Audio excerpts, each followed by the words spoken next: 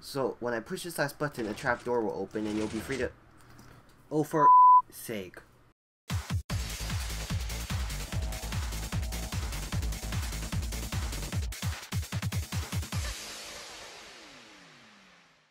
Hey guys, thank you for 750 subscribers and 30,000 video views. Now, I have something a little bit different than usual today. I actually have a logic creation, and before you guys are like, whoa, Zombie can do logic, wait, what, mind explodes. Um, well, the, the complicated part in this is actually timing, uh, which is still cool, um, but it's not actually technically logic logic, it's a timing-based AND gate. Um, it's it's still kind of cool though. This is a combination lock. The password is 0, 7, 5, and 0 for obvious reasons. Um, and then this trapdoor will activate. And if you want a link to this trapdoor, it'll be in the description below. It's a seamless flush sort of 2x2 thing there. Uh, but this combination lock, uh, the more important part of this video, uh, has a couple of cool things going for it. One, it's lever programmable. Um, that's usually useful if you want to have an external programming thing, I guess. Uh, but this you can't really actually do that on this one since it's packed so tightly in here. So the only other reason that you might want this is it's easier to program uh, than like let's say 90% of all the other combination locks where you have to like place torches and break blocks and stuff. So basically you have to tear out this entire programming part of the combination lock and then place it back together again. This one you just, you know, you flick a lever there and then you flick another one and voila, uh, the number 2 is now the first digit of your combination lock instead of 0.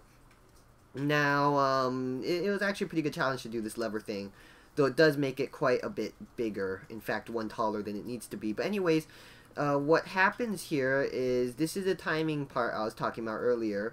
When you push any number, it'll activate this monostable and then uh, it'll turn off this dust and if the dust does turn off then it'll reset everything however if you do hit the right number it'll turn on um, well not turn on but activate this NOR latch and that'll turn on this monostable which will send a pulse and that's timed with this monostable up here so basically if you enter the right number this monostable will activate and then this dust will never turn off at all um, but if you hit the wrong number, none of these monostables will activate, and then this dust will turn off, and that'll reset the entire system.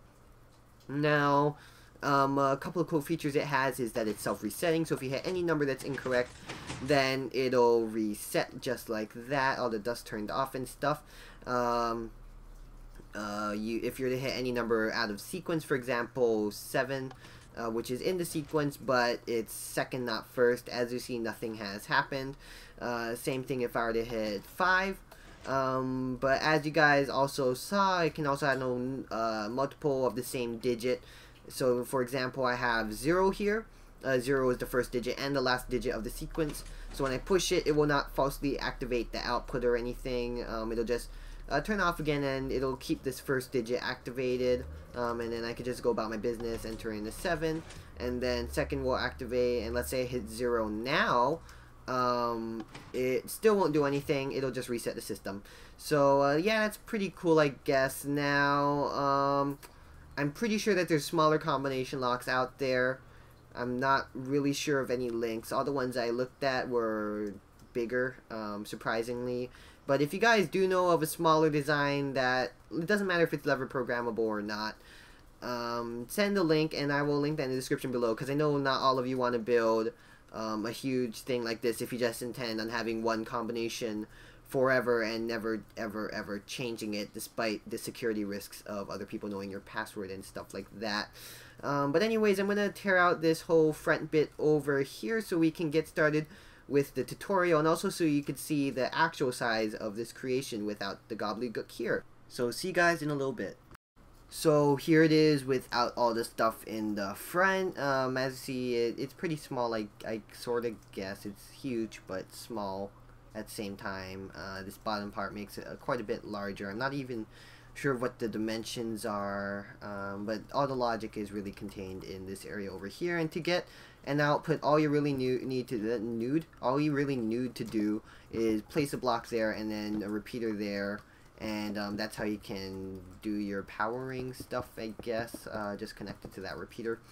Now, to actually do this thing, you're to need quite a bit of materials. Let me just grab that there, and then a hopper and come to this side. Now there are multiple ways to speed this up. I'm going to be showing you guys one of them at the end of the video uh, after we built it and basically what that'll do is just place the monostable on the end um, after this dropper monostable will shorten the pulse. So basically you can enter in digits as fast as you can push them and it'll just make the thing insane fast. However, it will make it slightly bigger by like one layer. Um, so if you're anal about that, then you really should not do it. But anyways, uh, to start things off, I'm gonna I'm just gonna do a four button thing. I guess one, two, three, four. Cut that off, and then um, cut this off as well. That was just a spacer. Now. Uh, you're going to want to have dropper monostables under each and every one of them. One, two, three, four. Just like that. And you could load them with anything that you want. Your dirt, your cobblestone, your whatever. Your diamond leggings, I guess uh, more quartz, I guess, and more quartz. And then um, this is also really easily expandable. All of it is entirely modular. Um, though after 15, you will need a little repeater there to extend the signal, but it will still work perfectly, um, perf perfect, perfectly fine, and you can expand it infinitely that way as well without any issues. I've expanded it to, I think, like 30 digits, and it still worked uh, pretty fine. Now, over here, you're going to want to have uh, repeaters, not comparators, repeaters. I'm going to have a four-digit combination lock, like a pin, I guess. Uh, that's what most people do. So uh, one, two, three, and then this is number four. Uh, so four little rigid bumps like that, and then uh, repeaters on everything to power everything. Then you could have torches there, torches there, torches there, and then you need torches there. And then this is the programming part. You're going to want to have blocks on every single one of them. Actually, I'm going to get my lever out right now. So blocks on everything and then you're going to want to have torches facing backwards uh, so just like that just like here and then just like here like that dust on top of these blocks on top of these torches now to um, place these levers what you're going to want to do is uh, turn them on by default like that and um, whatever number you, you do want, you're going to want to just turn it off. Uh, I'll set that later though. Uh, so right now just place all your levers and then flick them on. And what this will do is prevent the things from uh, the correct answers, quote unquote correct answers, from turning on until you actually uh, do want them to be on. For example, if if I were to just have these off, if I were to push any button, it'll just turn it on and it'll just be completely insecure because um, it wouldn't have any combination set. But anyways, uh, dust on here like I was saying earlier. And then you're going to want to have uh, torches on these sides of the blocks right there and that'll just give us a signal up here to deal with and then torches there to invert it once again. And we're gonna need a slab so we don't bud these droppers accidentally down there. And then dust there and like I said I will be teaching you guys how to make this uh, faster by moving this part that I'm building right now to the back. And right now just you're going to want to have a little thing like that a monostable and then a torch. Now I'm going to be building the the RS NOR latches right now. This is a pretty long video um, and I'm pretty tired. This is actually like my fifth recording of this um, so yeah, uh, a little bit tired, not really sure what I'm doing anymore or talking about. But yeah, uh, have torches there for the RS NOR latches, and then repeaters there to finish them off. And that'll just power the back of these um, through the dust again. And then down here, to want to just have uh, your monostable piston. Get myself some redstone blocks.